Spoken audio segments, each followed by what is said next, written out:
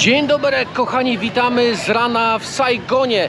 Jest godzina siódma rano, siódma dziesięć dokładnie, a my wybieramy się w miejsce, gdzie wczoraj mieliśmy ten taki kiepski hotel, bo stamtąd odjeżdża nasza dzisiaj wyprawa do delty Mekongu o godzinie 7.40. My właśnie czekamy na taksówkę, czekamy na graba, który nas zabierze tam z powrotem.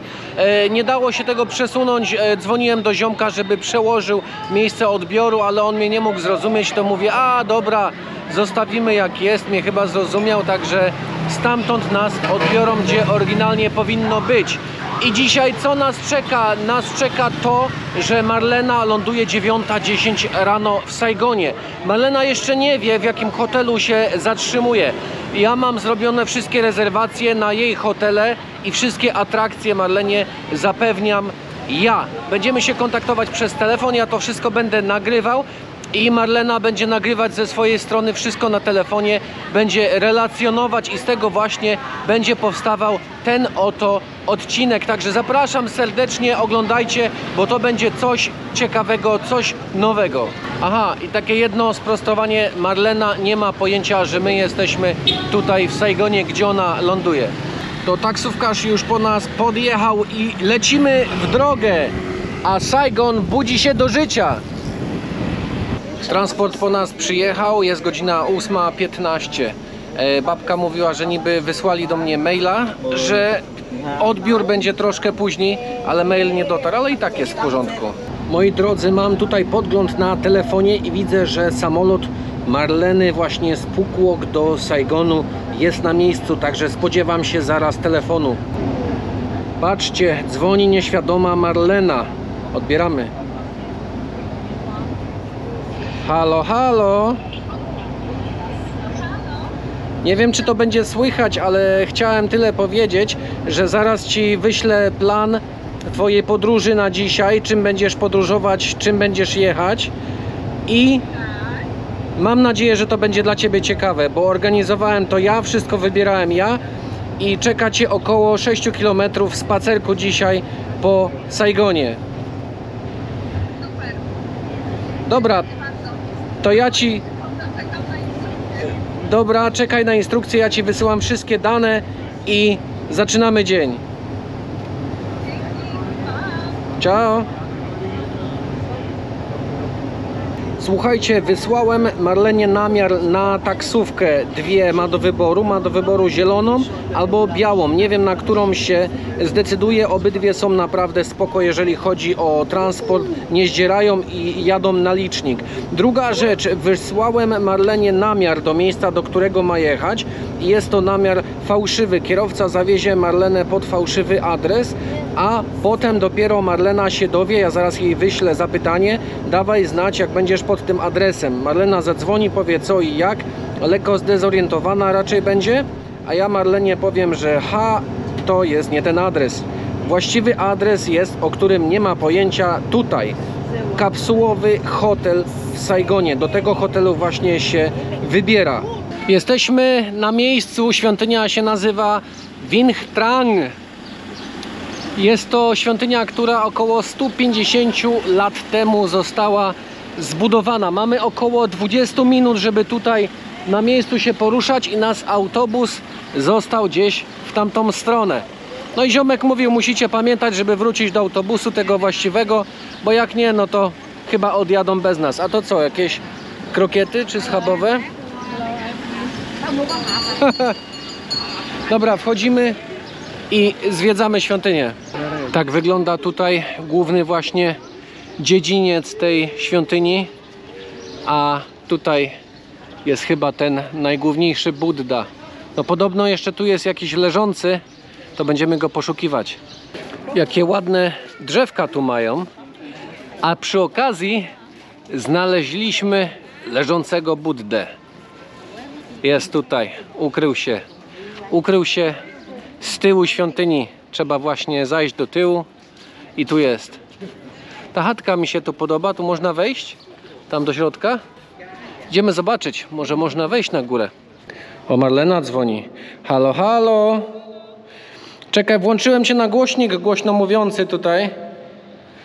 Dobra. Mam nadzieję, że Cię dobrze słychać. E, Jesteś na miejscu? Jestem na miejscu, dojechałam. Za taksem mnie pan podliczył 320, więc Trzy- nie wiem, czy to normalne. Ale jechałaś na licznik? No, miał włączony licznik. Na liczniku było 295, ale on powiedział jeszcze ticket airport. No co mnie obchodzi ticket airport, jak tam stoją, nie? Aha, no W nie. każdym razie 320. No ale to ogólnie tak powinno być mniej więcej. No tak powinno być mniej więcej. Zależy jeszcze od tego, czy korek był, czy nie. Nie wiem, jak długo jechałaś, nie? Bo jak patrzyłaś się na No, licznik i jechał e, według licznika, to 15 spoko. Z 15 minut jechałam. Tak gdzieś, no. Aha, Blisko, ale trochę przykorkowane, nie? aha. No w każdym razie jestem pod budynkiem. Dobra, Czekam na dalsze instrukcje. jesteś pod budynkiem, to rozejrzyj się, widzisz hotel? Hotel. A to nie w tym budynku. No właśnie, czy tam jest hotel, czy nie jest? Ja... Boże, muszę zmienić miejsce, bo tutaj tak śmierdzi moczem, że masakra. Znaczy, ja nie widzę hotelu, nic tu związanego z hotelem. To bardzo dobrze, że nie widzisz żadnego hotelu, bo jesteś w złym miejscu. Wysłaliśmy cię do złego miejsca. Musisz iść w nowe miejsce. Zaraz ci wyślę lokalizację, ale to jest niedaleko, dosłownie kilka minut. Kilka minut z buta musisz podejść. Także wysyłam ci nową lokalizację twojego hotelu na dzisiaj. Dobra. Ja pierdzielę. No. Ale żarcik?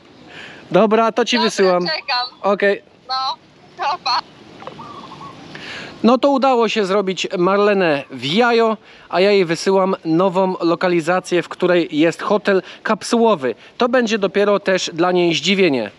Wewnątrz jednego z budynków mamy jeszcze coś takiego, nie? Ogólnie te takie świątynie już jak dla mnie są takie średnio, no mało ciekawe są, nie? Także poza tym ta świątynia jest taka mała, nie jest jakaś duża. No i nie ma co tutaj tak zwiedzać do końca. Mam nadzieję, że będzie lepiej w Dolinie Mekongu, że sobie odbijemy to wszystko, bo nawet mi się nie opłaca tutaj, nie chce mi się szczerze mówiąc drona wyciągać, bo jest poza tym mało czasu i musimy się zbierać z powrotem. To jest takie tylko 15-20 minut na przejście tego i tak to jest wystarczająco, no ale wiadomo, każdy jeszcze może do jakiegoś sklepu chce zajść, kupić sobie coś do picia. A przy okazji mówiąc kupić sobie coś do picia, ja też coś chcę. Idziemy do sklepu. Już w autobusie i ciśniemy dalej w drogę do Delty Mekongu i czekamy aż Marlena zadzwoni z pierwszymi wrażeniami z hotelu kapsułowego i damy jej dalsze instrukcje, co dzisiaj będzie robić. Zjawiliśmy się w porcie dokładnie w tym miejscu i popłyniemy sobie tutaj na tą jedną wysepkę, stamtąd jakąś łodzią taką z wiosłami popływamy chwilę i zostaniemy zabrani w okolice tutaj, nie? E, Coconut Candy Workshop będzie następne po tym. Później pojedziemy sobie, pojedziemy, popłyniemy na tą wysepkę Phoenix Island. Tu pojeździmy trochę rowerami i popłyniemy do Maito City. To ładujemy się na łódkę, zasiadamy i wypływamy. Dotarliśmy na miejsce, wyładowujemy się i mamy wejść. Na tej wyspie znajduje się farma pszczół akurat. To idziemy zobaczyć. No Marlena dzwoni znowu na gorąco. To odbieramy. Halo, halo. Sinciao, sinciao. Cinciao, cinciao. Dobra, e, pierwsze wrażenia proszę, takie na gorąco z nowego hotelu. Dobrze, mogę powiedzieć dosadnie? Tak, Tak, jest zajebiście. Jestem w ogóle, tak mnie zaskoczyłeś, że, że wow. Naprawdę. Ale jest zajebiście. W ogóle czuję się tam jak na statku kosmicznym. No, ponagrywałam coś tam dla Was, także zobaczycie sobie. pięknie. Ale jest mega. Mega jest w ogóle.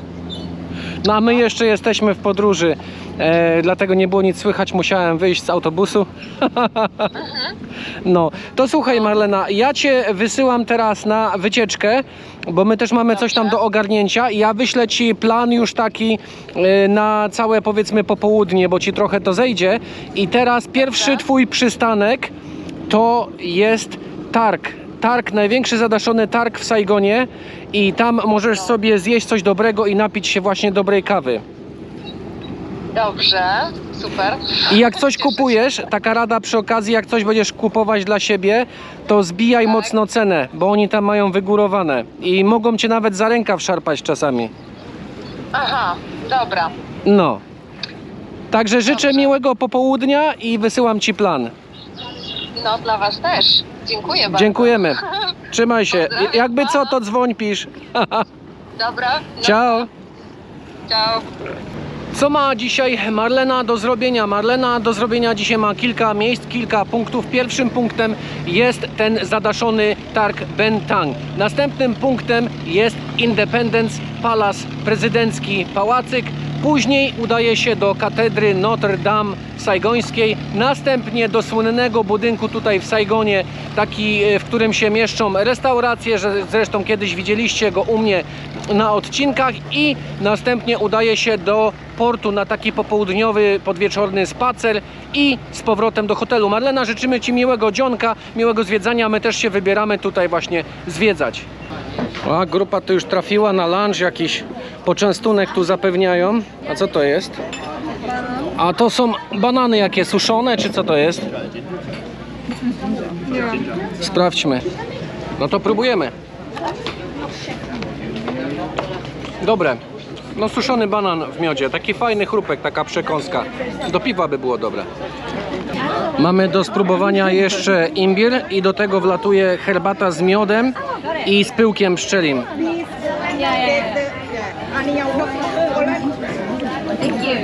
Dobre. Ten imbir taki spoko nawet.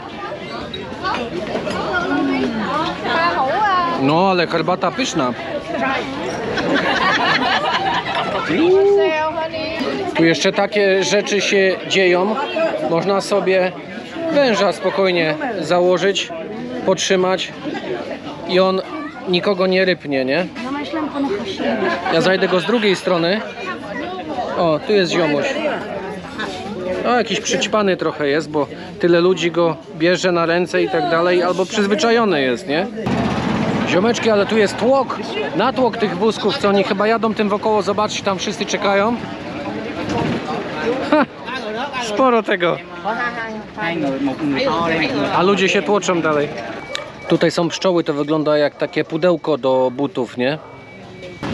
Tu możecie sobie tędy zobaczyć. Ludzie pływają w tych kanałach takimi łódkami. Jestem ciekawy, czy my gdzieś tym popływamy. Mam nadzieję. To przywlekli nas do jakiejś knajpy, gdzie będzie poczęstunek. Widzicie, owoce wjeżdżają. I tu siedzi sam wietnamski Elvis Presley i nagina na gitarze. Nie wiem dokąd idziemy, ale ziomek nas gdzieś prowadzi. I zobaczcie, jakie tu owoce fajne wiszą. Fajnie, tu przynajmniej jest tak cicho i spokojnie i można się szchillować, bo tam jak te babki były, to dosłownie uszy pękają. Tego naprawdę tam nie polecam. No to wypływamy. Tak to mniej więcej wygląda tutaj. Wyprawa takim kanu po kanale. To jest właśnie to, co oglądacie w telewizji. Tu jeszcze ziomki płyną sobie z tyłu. No fajnie to wygląda. To jest akurat jak na razie najprzyjemniejsza część wycieczki, którą tutaj odbywamy, nie? Nie wiem jak długi jest ten kanał, ale zobaczymy. Hello. Hello. Ciężko się wiosłuje? No i co chwilę, dosłownie jedna za drugą idą.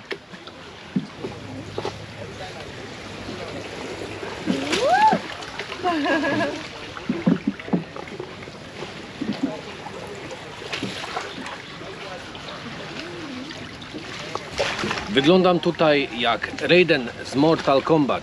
Finish him! Chciałem, żebyście to zobaczyli. Mam nadzieję, że kamera uchwyci kolory.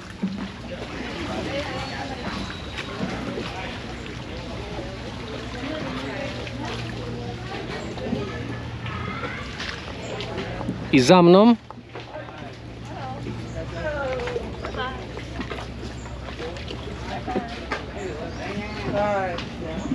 I teraz tak ogólnie czekamy, bo dopływa dużo łódek i trzeba się przeładować na coś takiego, na większą, ale nie wiem gdzie dokładnie. Mi się wydaje, że możliwe, że na tą będziemy siadać, ale tu chyba trzeba czekać na naszego ziomka przewodnika czy coś w tym stylu. Nawet nie wiadomo gdzie on się podział. Kto pierwszy dociera, ten ma ławkę prezesa z tyłu. Chodź kochanie, ławki prezesa mam. Jesteśmy na kolejnej miejscówce. Nazywa się Coconut Candy. Mam szczerą nadzieję, że tutaj możemy sobie popróbować. Będzie taka możliwość, żeby spróbować jakichś cukierków kokosowych. Ogólnie nasz przewodnik, z którym tutaj się wozimy po okolicy, wymyślił sobie, że będzie karaoke śpiewał i dał głośnik na full i do tego dar tak mordę, że myślałem, że mi uszy pękną. Tutaj zobaczcie, to jest ciekawe. Panie sobie siedzą i zawijają cukierki kokosowe. To jest wszystko ręcznie tutaj składane, zakręcane. No mi się to bardzo podoba.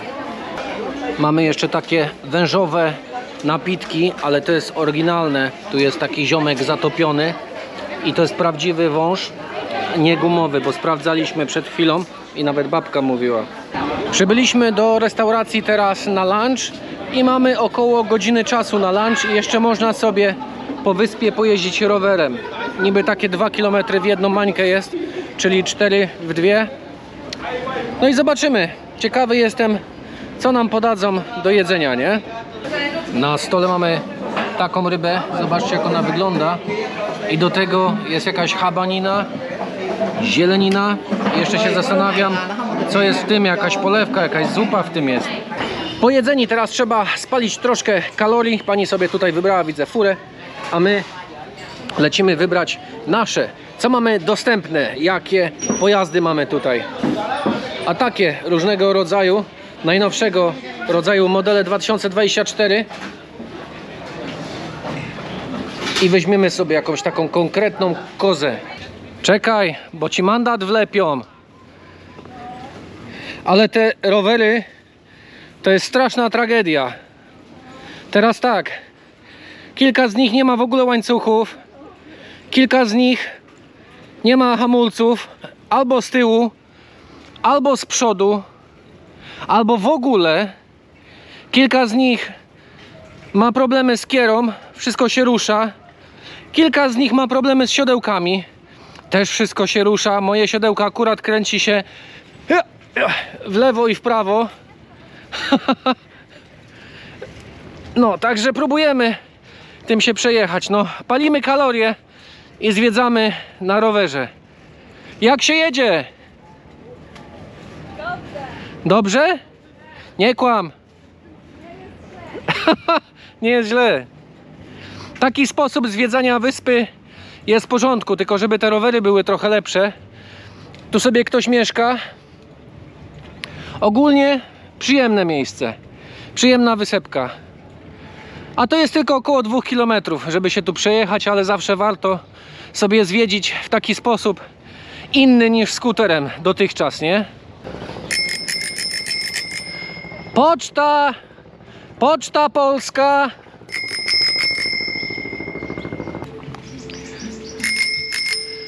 Dzień dobry, Poczta Polska. Zamawiała pani paczkę z Allegro. Nie?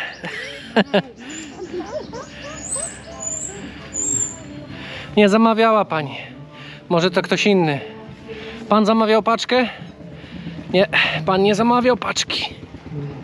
Ziomeczki, dzwonimy do Marleny. Zapytamy się, co u niej. Halo, No halo. jak tam u ciebie? No ja tutaj wszystko dokumentuję. Jestem właśnie na ławeczce przed Pałacem Zjednoczenia. Pięknie. Wszystko sobie już obeszłam, tak, elegancko. To jesteś w połowie drogi, bo teraz jeszcze musisz na kawę chyba iść, nie? Do tego, do tych No, restauracji, no dobrze, kafejek. na... Tak, no to już na którąś z kolei, tak. już piłam kawę właśnie, nowość dla mnie w Wietnamie, bo piłam kawę z, i z mlekiem skondensowanym. Aha. No dobra, no to działaj, działaj sobie dalej, dokumentuj, a, a my już prawie jesteśmy tam na bazie, nie? A gdzie macie bazę? Wiesz co, e, niedaleko Hatien. Aha, okej. No, zwiedzaliśmy tam okolice i już nie, niedługo jesteśmy na bazie, także zlatuję do hotelu i robię odcinek. To znaczy robię odcinek, e, pozgrywam to co mam i czekam na twoje materiały, żeby dać widzom, nie? Moich materiału będzie dużo. Uwierz mi. Spoko, potniemy. Dobra. To miłego. Ciao. No miłego, ciao. Kochani, jesteśmy już z powrotem w centrum Saigonu. Złapaliśmy sobie właśnie taksówkę i ciśniemy do nowego hotelu na 3 dni. Ziomeczki, fajny hotelik, zaraz Wam go pokażemy, jak tylko dotrzemy. Ziomeczki, po kilku próbach i błędach znaleźliśmy właściwy hotel. Dotarliśmy w końcu na miejsce. Ziomeczki, zapraszamy do nas do pokoju 505. Jest numer pokoju na wejściu. Widzicie, mamy taką dużą lodówkę, mamy kuchnię i co? A tu w środku mamy jakieś gary. Także będzie można sobie zrobić jajecznicę rano, za czym mega, mega tęsknię. Stół do pracy na dwie osoby jest taki większy niż zazwyczaj ten kącik pracowniczy. E, telewizor, kanapa i duże, miękkie, mam nadzieję, tak, fajne łóżeczko. I zapraszamy jeszcze do łazienki. Taka łazienka w standardzie, ale mamy wannę. Tym razem będzie można sobie się wykąpać komfortowo w wannie. A my idziemy jeszcze coś zjeść, zapłacimy sobie tutaj za hotel i zostajemy 3 dni. Tu będzie nasza baza. Kochani, mam nadzieję, że odcinek się podobał. Osobiście teraz powiem tak. Wypad do delty Mekongu ogólnie kosztował nas stówkę na osobę, złotych oczywiście. E, Myślę tak, finalnie myślę, że było warto. No ogólnie ten koleś na łodzi to trochę przesadzał z tym śpiewaniem. E, Ta świątynia była taka niepotrzebna, ale oczywiście ktoś, jeżeli jest pierwszy raz tutaj, to, to będzie tym zachwycony. E, Największe wrażenie na mnie zrobił właśnie ten przepływ tym kanałem, tymi łódkami, nie? No i później jeszcze produkcja tych cukierków, testowanie tej herbatki z miodełem i tak dalej, nie? To było naprawdę spoko i jeszcze lunch na koniec i wyprawa na rowerach na zakończenie takiego e, pobytu tam, nie? W delcie Mekongu. E, Dziękuję za oglądanie. Jeżeli będziecie chcieli zobaczyć, co tam Marlena stworzyła z tej swojej wyprawy tutaj do Saigonu, z tych zadań, e, które dostała przydzielone, to zapraszam serdecznie na następny odcinek, który będzie złożony tylko i specjalnie z tego powodu. Dziękuję na razie, trzymajcie się, pozdrawiam, cześć.